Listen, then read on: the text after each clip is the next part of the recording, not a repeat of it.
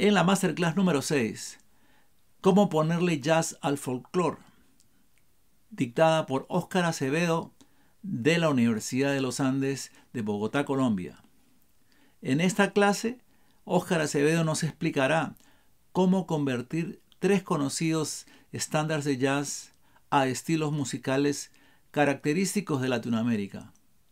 A través del uso de técnicas como la rearmonización y la armonía modal, también experimentos con la métrica, el fraseo y la subdivisión, veremos cómo un jazz vals se transforma en bossa nova o un latin jazz se convierte en chacarera. El asistente podrá aplicar estas herramientas con trabajos sencillos que presentaremos al final de la sesión. Por último, analizaremos el uso de estos procedimientos para la composición en, una cumbia jazz titulada Cumbia Alada y un tema que incorpora simultáneamente swing y joropo llamado cosiánfiro. Se recomienda tener a mano un instrumento para poner en práctica los métodos revisados en clase. Oscar Acevedo es músico egresado de Berklee College of Music del año 1983, especializado en jazz y en composición para cine, teatro y televisión. Disfruten la clase. Y pues muchas gracias por todo el apoyo y por esta invitación a presentar esta charla, así como a todos los colegas de Alaemus en Latinoamérica y en Europa y en Estados Unidos. Igualmente a Oscar Estañaro y a todos los que lideran esta muy bonita iniciativa que está permitiendo que llegue información a muchos rincones donde hay gente que le sirve esta información para poder armar sus proyectos musicales. De manera que un agradecimiento por la invitación y una felicitación por esta actividad. Bien, el propósito de estar hoy aquí con ustedes es presentarles uh, como, digamos, unos métodos que yo uso para eh, la construcción de mi repertorio y ahí sí quiero ser claro en el sentido en el que para un músico, ya sea como concertista o como profesor o como eh, su actividad de producción de audio, siempre es importante tener un lenguaje, tener un estilo. Y esto precisamente es lo que yo quiero eh, darles herramientas para que ustedes puedan empezar a construir ese estilo. Entonces, sin más preámbulo, ya Daniel les contó cómo vamos a hacer distintas amalgamas estilísticas para lograr eh, algunos giros y algunos arreglos en lo armónico y en lo rítmico y en lo melódico, de manera que vamos a, pasar la pantalla compartida y a empezar la presentación. Esta presentación es cómo ponerle folclore al jazz y cómo ponerle jazz al folclore, precisamente porque yo tengo en la primera parte dos estándares de pues, Joe Henderson y de Bill Evans, que eh, a través de unas técnicas de arreglos eh, voy a convertirlos en una versión propia, diferente a la original. Y eh, al final, en la parte de composición, voy a mostrar dos obras mías que incorporan tanto elementos de jazz como elementos rítmicos que creo que pueden ser de utilidad para muchos de ustedes. Entonces, mi nombre es Óscar Acevedo, soy profesor del de, área de jazz en la Universidad de los Andes, en el Departamento de Música, y eh, la actividad que estoy realizando para esta charla empieza con una canción que se llama Recórdame, de Joe Henderson.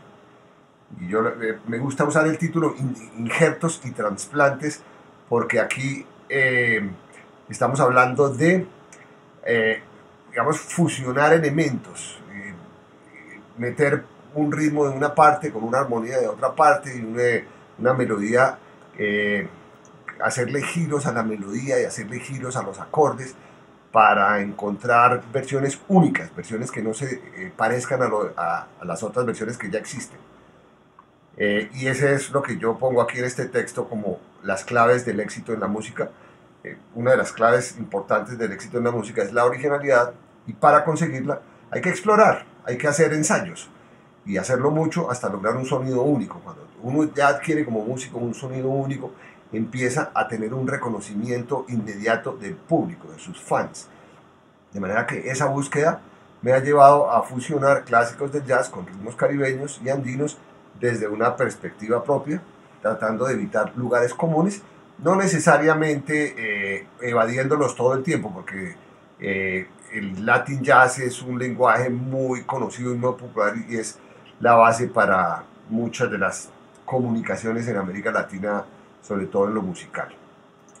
Entonces, eh, voy a, explicarles, como dijo Daniel, que en esta charla exploraremos cómo enriquecer el diálogo del jazz con la música latina y convirtiendo dos conocidos estándares a estilos característicos de acá. Uno es el bossa nova, que es bastante más conocido, y otro es la chacarera, que pues no es tan común en estas fusiones. Y las técnicas que estoy utilizando son rearmonización, estoy utilizando armonía modal, y aquí si hago una, digamos, subrayo eh, el uso de los modos como una herramienta bien interesante para explorar, para enriquecerse, para improvisar y muchas otras cosas. También básicamente en la métrica estoy buscando sacar del contexto habitual, el contexto rítmico habitual la canción y llevarla a otro contexto diferente.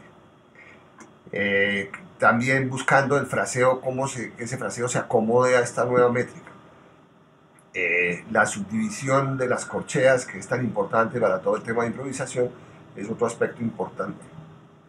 Y aquí, en el caso del el Very Early, eh, que es el vals, el jazz vals, lo vamos a transformar en bossa nova, y el otro que es Recórdame, lo llevamos de un tema de fusión a una chacarera. Y eh, al final de la charla, como les dije, vamos eh, a usar, a analizar estos procedimientos para la composición de una cumbia jazz y para crear un tema que integra el swing con el joropo. Un experimento bien curioso, un injerto, como yo lo llamo. Y el propósito final, que sí persigo y espero que sea de utilidad para ustedes, es que puedan aplicar estas técnicas para experimentar con sus géneros de interés. O sea, que, ustedes lleven esto a otro nivel y empiecen a usarlo como una herramienta de trabajo.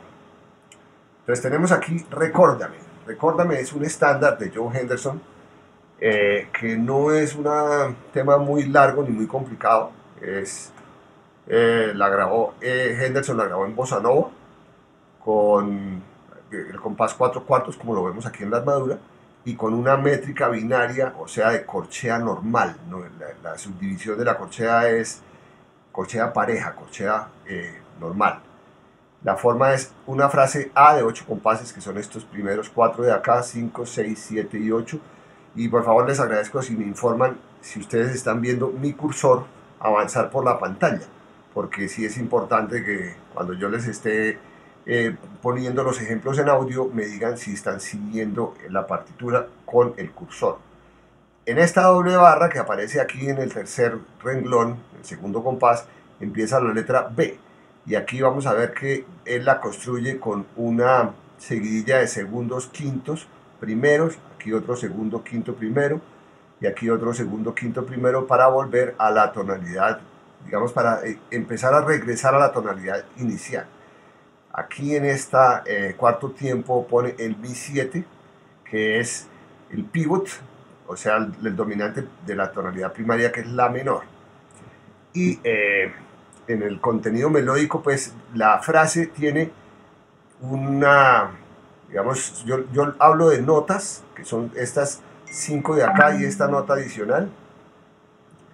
Bien, entonces en el antecompás tenemos 5 notas, que son estas 5 notas.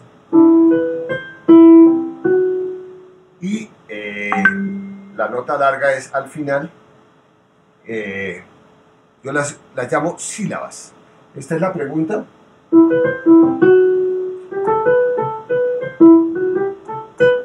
Y eh, lleva su respuesta. ¿Qué hace él con este motivo melódico? Lo sube después una tercera menor. Cuando llega a la letra B, hace este giro, esta otra contestación, y aquí vuelve la tonalidad original. Entonces, si no estamos pudiendo seguir el cursor, como me informa Daniel, a quien agradezco mucho todo su apoyo, vamos a mirar, eh, yo les voy a ir contando compases con los, con los dedos para que ustedes sepan en qué compás vamos. Recuerden que va a haber una melodía que entra anticipadamente y cuando llega al tiempo fuerte, que es ese fa sostenido, yo número compás número uno. Este es una, un boceto, una versión que yo grabé del el original. Eh, no es, digamos que es, es más que todo para ilustrar el ejemplo.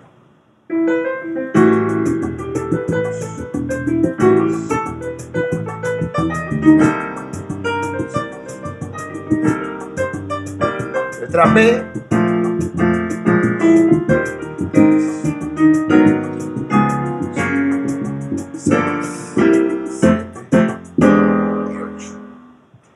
tenemos lo que sería la versión como la grabó Henderson originalmente. Vuelvo y repito que esto, como no lo podemos usar por tema de derechos de autor, pues uso una versión grabada aquí en el secuenciador. Eh, son 16 compases y es, digamos, un ritmo de corcheas parejas, taca, taca, taca, taca, taca, taca, que es el ritmo característico del bossa nova. Para construir una versión propia, sin cambiar la forma, yo intento encajar esta melodía en un ritmo ternario de tres cuartos, en lugar de 1, 2, 3, 4, 1, 2, 3, 4, como lo estamos haciendo con la versión eh, original de Henderson. Eh, voy a tratar de hacerlo en 1, 2, 3, 1, 2, 3, 1, 2, 3. Y si pudieran observar, baje un poquito la velocidad. ¿Para qué? Para que respire un poco más la melodía porque le estoy quitando un tiempo por compás. Eh, ya sobre 16 compases, pues lo que se le va recortando es bastante más y ya sobre varias vueltas en la improvisación y todo, pues ya al reducirlo a tres cuartos se, digamos, se reduce el ritmo armónico también. Ahorita yo voy a seguir hablando sobre el ritmo armónico. De manera que yo, eh, digamos, aquí lo que voy a hacer es un, digamos, un tempo de tres cuartos para acomodar un patatatatán ta ta ta ta ta ta ta ta ta ta ta ta ta ta ta ta tan 2 3 1 2 3 1 2 3 esa es la idea para que tenga un giro nuevo un, un, una digamos nueva lectura un, un, nuevo carácter eso es lo melódico y cuando yo ya encuentro que funciona esa articulación eh, en tres cuartos de la melodía busco ritmos que puedan, digamos, acomodarse a ese patrón de tres cuartos. Y eh, en el caso de la chacarera, veo que se, ajusta a la articulación de la nueva melodía y es similar a otros ritmos ternarios de la cordillera de los Andes. No, digamos que yo les voy a mostrar una versión en solo piano más adelante, pero aquí eh, tengo un ejemplo de como en este segundo renglón de los tres que hay allá, vemos que el bombo hace un pom, pom, pom, y un tan, tan, tan, tan, tan, tan, ¿cierto? Con esa, digamos, acento característico y con esa, digamos, sonoridad específica de la chacarera. Ahí hay otros eh, patrones rítmicos también de eh, el bombo y la baqueta como eh, digamos, hay variaciones. Vamos a escuchar, perdón, vamos a mirar a continuación el resultado con solamente la melodía y eh, voy a intentar numerar nuevamente la, eh, el compás por compás, esta vez 1, 2, 3, 1, 2, 3, dice así.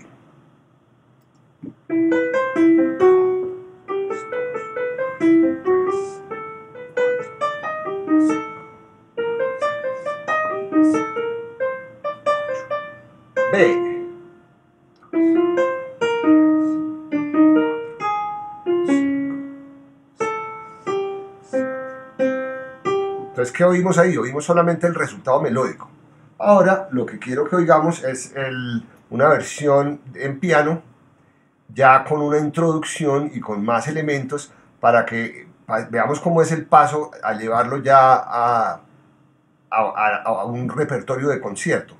Y aquí sí quiero también eh, ser claro que esto es un arreglo que yo hice apenas empezó la, la pandemia. Y una de las, eh, digamos, características que buscaba yo también era una especie de plegaria o de oración para que la humanidad pues no se vea tan afectada con este, digamos, episodio tan dramático que estamos viviendo en la salud de todas las, digamos, el planeta. Aquí estamos todos expuestos a, a este peligro con el virus. Manera que mm, volviendo un poco al tema ya técnico, empiezo a trabajar sobre la rearmonización. Entonces, si ustedes notaron que en la versión original aquí había un La menor 7 en el primer compás, yo aquí ya construyo un Mi menor 7. ¿Cómo lo hago? Yo básicamente del La menor 7 original, que tiene el primero, tercero, quinto y séptimo grado, tomo solamente el quinto y el séptimo y pongo el noveno y el onceavo y le cambio la fundamental. En lugar de que la canción empiece, yo la bajo a mi menor.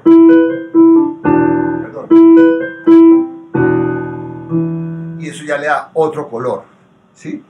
Entonces, em, esto es, digamos que un ejercicio de rearmonización que eh, lo extiendo durante los primeros cuatro compases y lo, repito en el 5, 6, 7 y 8 de la A, em, básicamente con el mismo procedimiento. Empiezo con el Mi menor y voy a un La menor, después en el quinto empiezo con el Sol y pongo un Mi bemol sobre bajo Sol.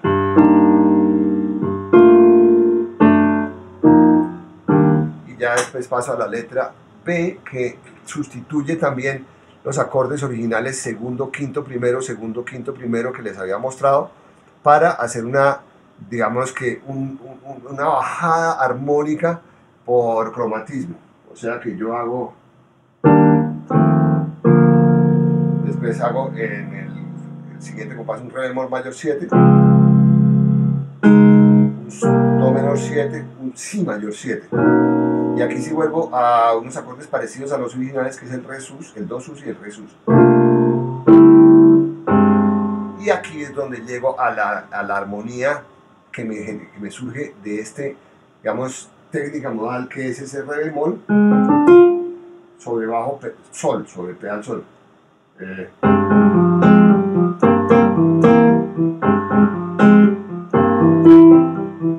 Y así voy construyendo la introducción y el puente para eh, generar esa tensión, ¿no? generar como ese espacio entre el tema y los solos.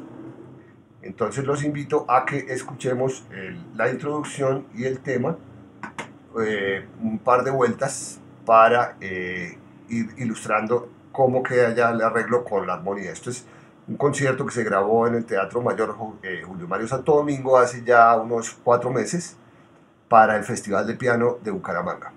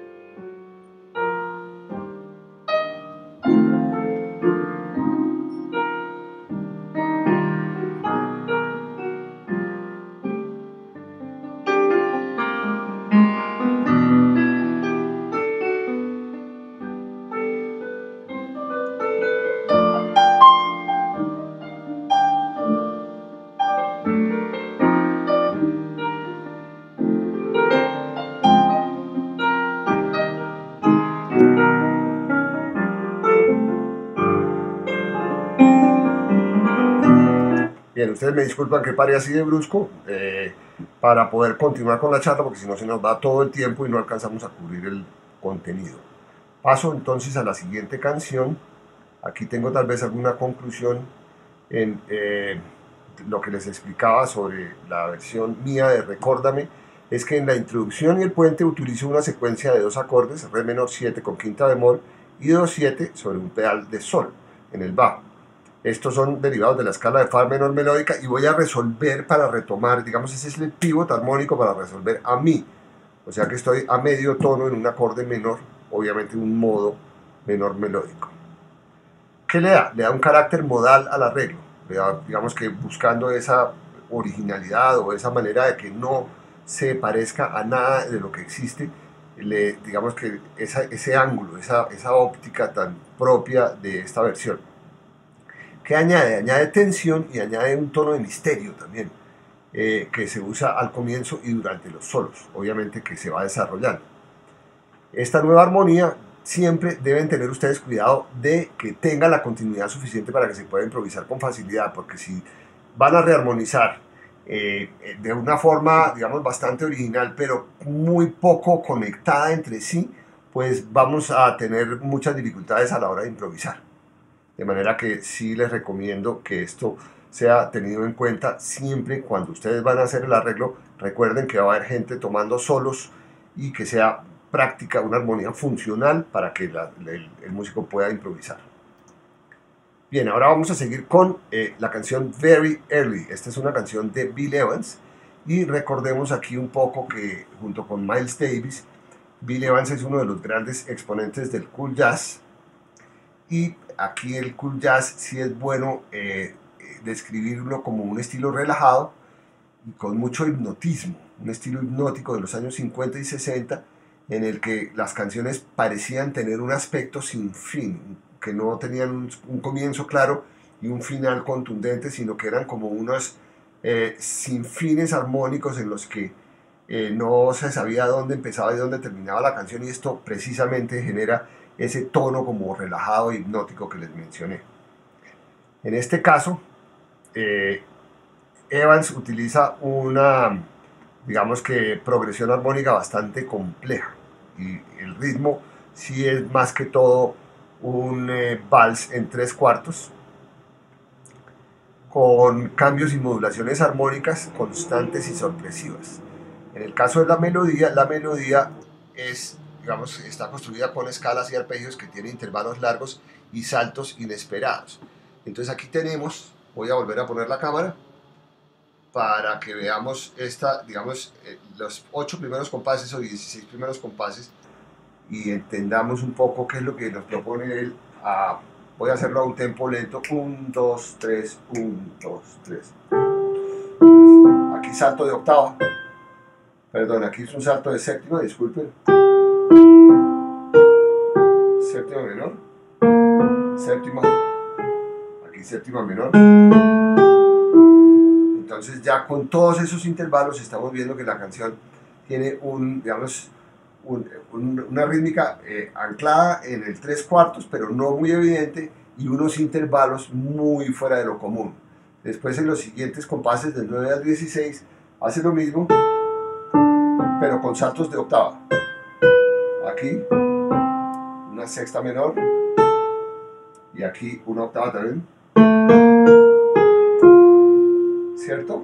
Entonces tenemos que el resultado es 1, 2, 3, 1, 2, 3.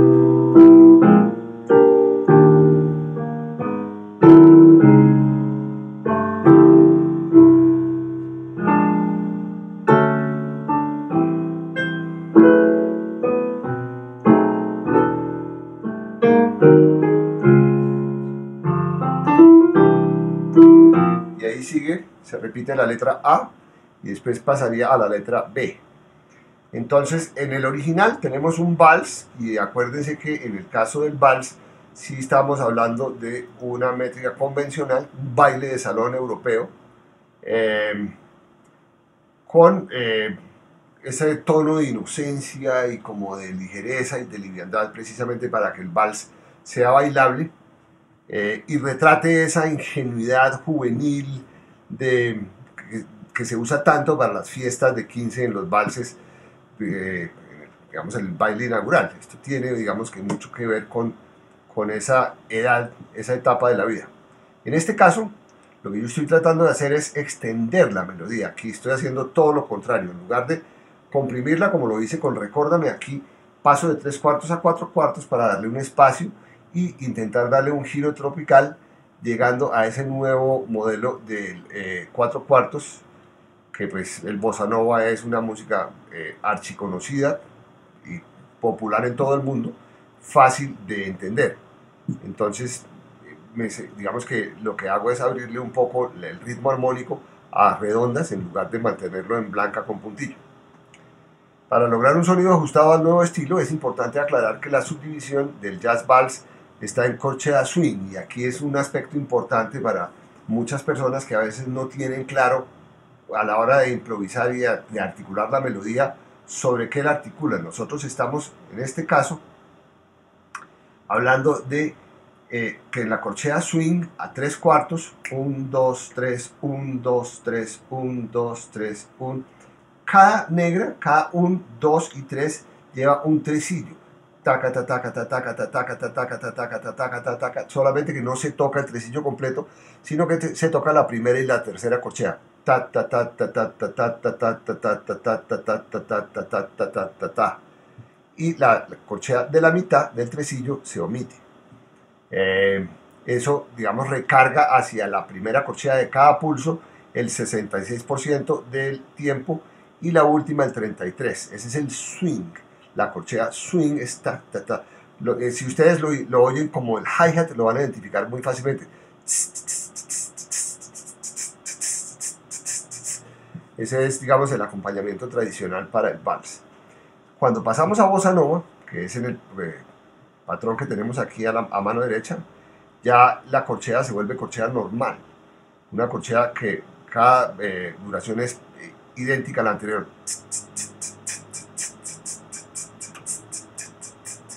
O sea, es una corchea pareja.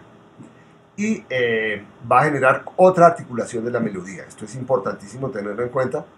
Eh, el bombo aquí va a estar activando casi todos los tiempos. Tum, tum, tum, y el hi-hat en llevando esa, digamos, estabilidad continua del acompañamiento.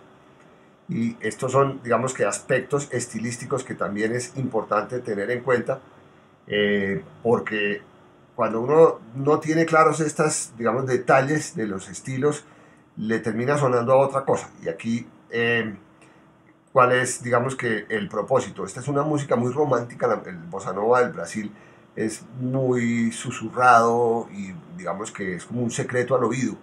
Eh, en eso coincide mucho con el vals, eh, que tiene también un aspecto suave y dulce de esos estilos románticos y evocadores que son tanto el bossa nova como el vals.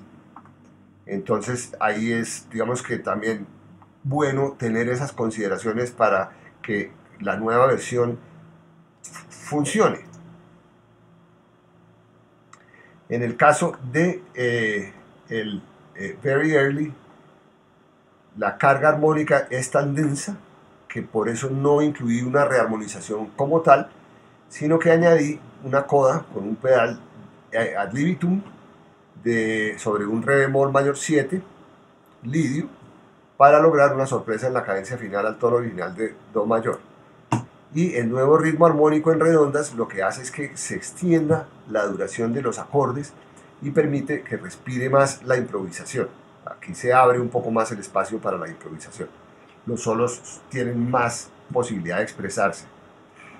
En la introducción utilizo la frase A sin acompañamiento y en los solos eh, cada instrumento acompañante va entrando gradualmente. El resultado es una lectura más festiva de este tema. Entonces pasa de ser una, digamos, una canción eh, muy intelectual tipo vals a hacer un tema un poco más eh, festivo. Voy a volver a la partitura para que ustedes escuchen la versión en cuatro cuartos en este caso.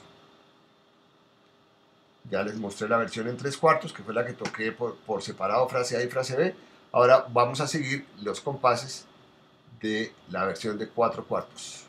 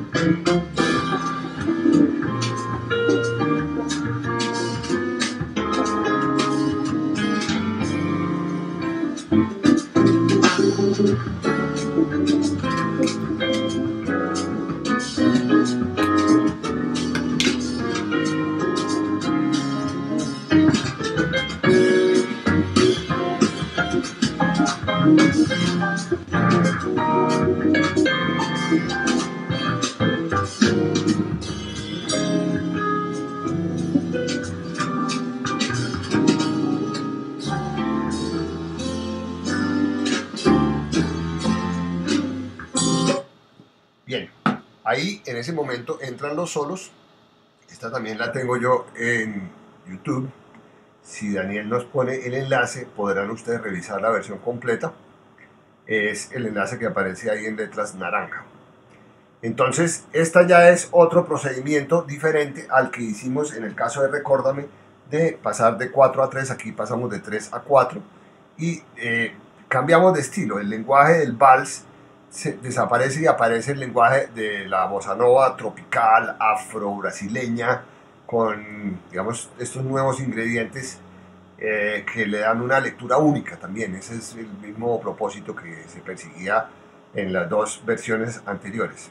Ahora vamos a pasar a la eh, composición. Y aquí quiero usar una canción mía que se llama Cumbia Alada, donde obviamente por el título se se habla de una cumbia con elementos diferentes, con elementos de jazz en este caso. Y eh, aquí sí quiero empezar por aclarar eh, que en el caso de la música original es música desconocida, nadie la ha escuchado. Y por lo general artistas de, digamos, que no son conocidos a nivel mundial, pues tienen mucha dificultad para que su música, que digamos, llegue a la audiencia de manera que en la medida que ustedes sean más precisos eh, con el ritmo y con la articulación a un estilo característico, la gente va a poder entender con mayor facilidad su propuesta artística.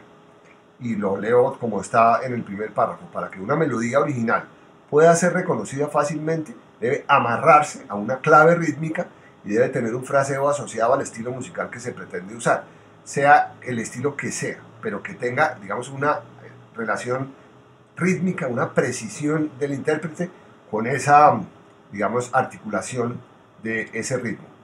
En el caso de la cumbia colombiana se reconoce por la marcación del tambor en los pulsos 2 y 4 a un tempo relajado. Si yo voy en 1, 2, 3, 4, 1, 2, 3, 4, 1, tu, tu, tu, tu, tu, tu, tu, ese es el, el golpe, digamos, continuo de la conga o del llamador. Eh, perdón, de la alegre. La melodía normalmente se apoya en esa base rítmica articulando los acentos melódicos del, al patrón rítmico.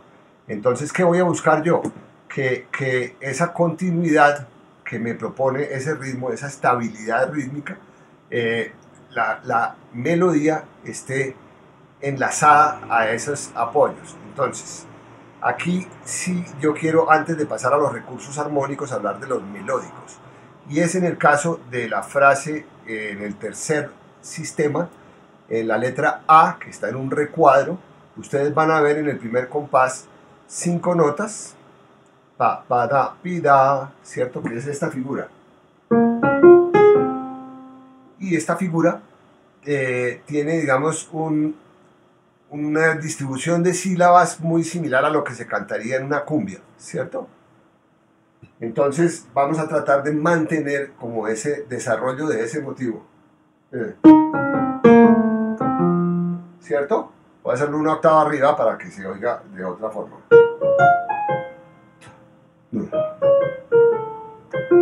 Aquí adicionalmente le pongo dos noticas de decoración al final. Eh.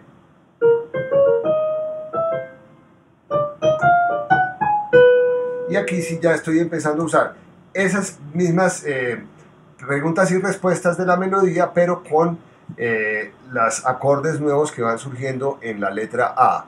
En este caso tengo la letra completa, diría 3 y 4 y...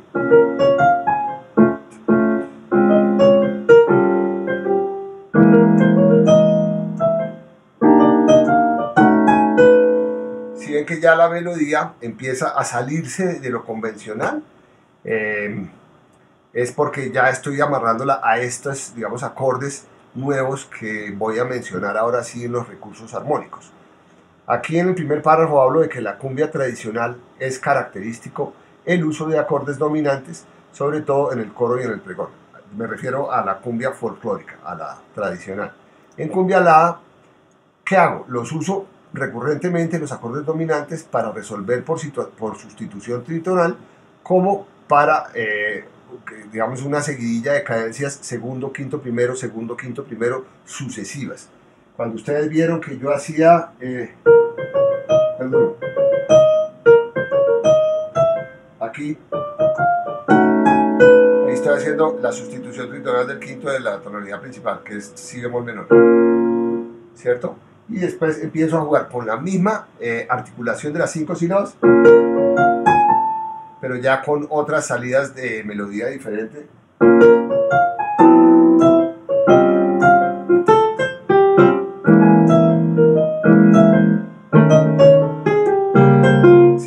Ta ta ta ta ta, ta ta ta ta ta es la continuidad, es la estabilidad rítmica, el ancla que tiene esa melodía sobre el patrón de la cumbia.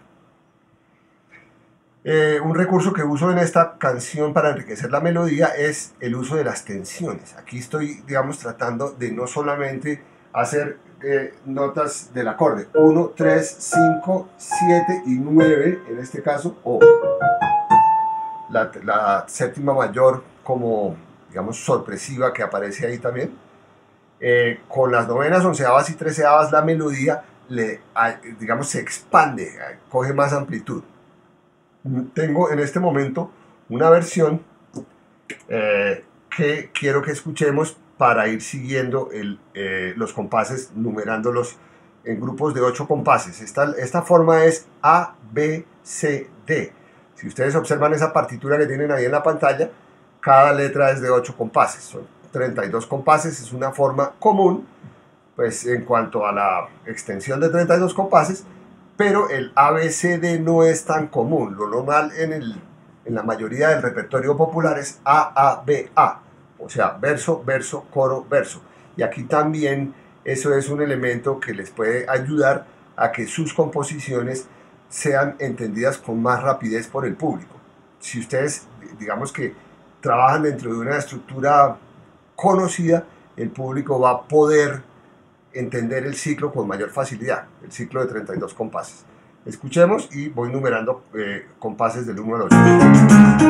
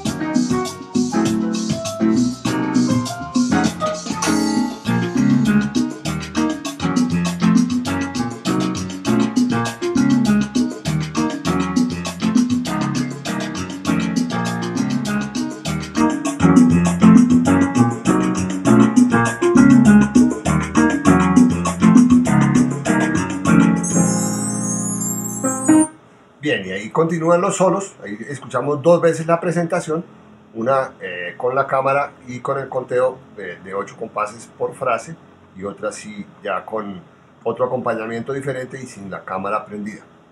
Entonces esta canción la toca Jesús Javier Molina, que es un becario del Presidential Grant que ofreció Berkeley hace ya como unos 5 años eh, con Juan Luis Guerra y le ha sacado mucho provecho a esta beca. Él ahora ya está grabando mucho y girando mucho en Estados Unidos y una de sus canciones que está en ese repertorio de Jesús Javier es esta canción, Cumbia La, toca frecuentemente. De manera que es un recurso también para que ustedes no solamente escriban música para su propia banda, sino que también le den a otros intérpretes la posibilidad de tocar sus canciones. En la siguiente vamos a ver una que se llama Cosiánfilo. En este caso lo que yo trato de integrar es el joropo colombo venezolano de la Orinoquia al jazz a través de compartir una, digamos, integrar los dos estilos sin variar la unidad de medida básica. O sea que la medida de la canción va a ser la misma, la subdivisión va a cambiar cuando pasemos al swing y cuando volvamos del joropo al swing o del swing al joropo. Pues para crear un diálogo entre el jazz y el joropo utilicé el tempo común en el que se pueden tocar los dos géneros. Eh, uno ternario y el otro binario. El tema se toca en compás 6x8 con una corchea de 220 en joropo. Y ahí es importante aclarar que la, el fraseo es un fraseo característico de ese baile fuerte y marcado que se usa en el llano eh, colombo-venezolano. El solo, que es la parte de la improvisación, es donde se toca el swing, ahí ya pasa eh, a, cuatro cuartos. Entonces, si yo estoy en la marcación de tres cuartos en joropo, 1, 2, 3, 1, 2, 3, 1, 2, 3, 1, 2, 3, 2, 3, 4, 1, 2, 3, 4. Sin cambiar de tempo, paso a eh, subdividir en, eh, si tenía aquí tres negras, 1, 2, 3, 1, 2, 3. Lo que hice fue eh, marcar dos tiempos en negra con puntillo. 1, y un, dos, tres, cuatro, o sea, del ritmo que tenía taca, taca, taca, taca, taca, taca, taca, taca, taca, taca, taca, taca, que si ustedes se ponen a pensar en Ay mi llanura, en un montón de canciones del repertorio llanero, pues van en ese tempo. Lo, que, lo único que estoy haciendo es incorporar el 1, 2, 3, 4, 1, 2, 3, 4, dentro del taca, taca, taca, o sea que con la voz estoy haciendo joropo, con las palmas estoy haciendo swing. Ese es más o menos el ejercicio. ambos valores se pueden trabajar simultáneamente alternando la subdivisión entre la, la métrica ternaria del joropo y la binaria del swing, siendo la corchea del swing atresillada. Recuerden que aquí volvemos otra vez al mismo consejo que en el que yo insisto mucho, si ustedes van a tocar el swing, recuerden que la subdivisión es ternaria, ¿cierto? Omitiendo la de la mitad y tocando solamente la primera y la tercera corchea del tresillo. Entonces es importante que lo tengamos muy presente para que cuando veamos la melodía podamos entender esto que les estoy explicando. En el caso de la melodía, digamos que arriba son unos compases abiertos de introducción para asentar un poco la, la característica del joropo. Eh, aquí señalo que también es determinante articular la melodía con el fraseo característico de esta música del llano, colombo venezolano, eh, aclarando que los acentos van en tiempo fuerte, ¿cierto? Esos acentos tienen, digamos, ancla en algunos de los tiempos fuertes, mm, pero eh, puede ser al comienzo o al final de cada frase. Y en los puntos débiles se usa la síncopa en el resto de las sílabas del verso o del coro. En este caso, si yo tengo 1, 2, 3, 1, 2, 3, 1, estoy en la letra A que hace...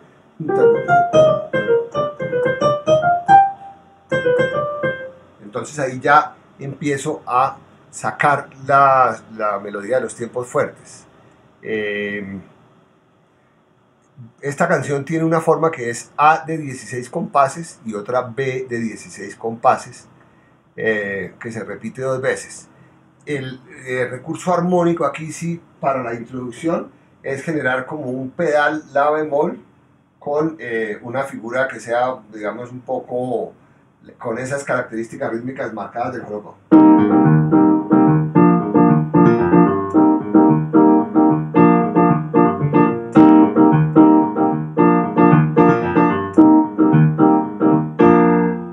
Y la melodía tiene, eh, empieza con esta figura.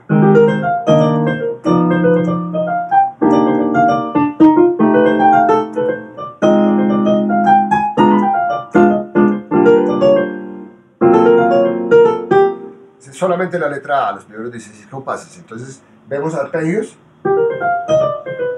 y vemos eh, grado conjunto, escalas, vemos cromatismo, ¿cierto?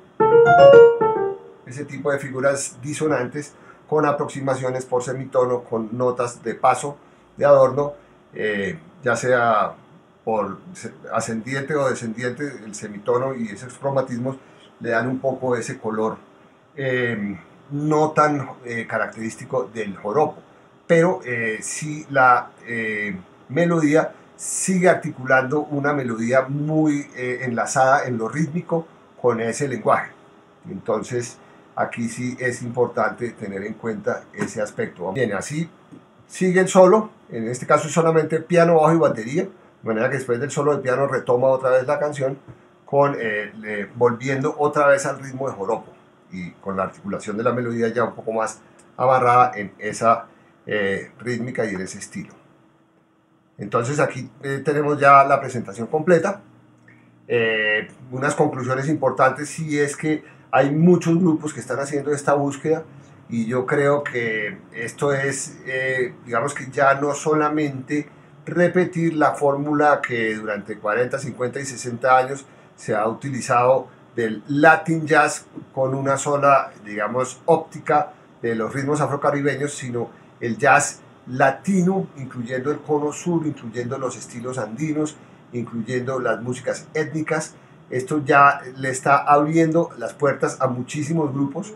En el caso colombiano hay una banda que se llama Between, que acaba de abrir el Festival Jazz al Parque, que eh, toca la música de Chabuca Granda, de Cita Rosa, de un montón de compositores de esta música andina eh, en un contexto muy jazzístico con unos arreglos en polirritmias, eh, métricas de 7, de 5 eh, y lo hacen también con, digamos, con muchísimo acierto y han sido muy reconocidos por eso. lo mismo pasa obviamente con gente que está incorporando el folclore en muchos países de, de este continente, de manera que si lo quieren hacer con el guapango, o si lo quieren hacer con la música dominicana, pues ahí tienen un montón de herramientas para que puedan eh, empezar a incorporarlas a su arsenal de recursos para que eh, los arreglos y las composiciones se enriquezcan un poquito más. De manera que quiero agradecer mucho esta invitación, de manera que les agradezco mucho su compañía y espero que hayan disfrutado esta charla. Muy buenas noches.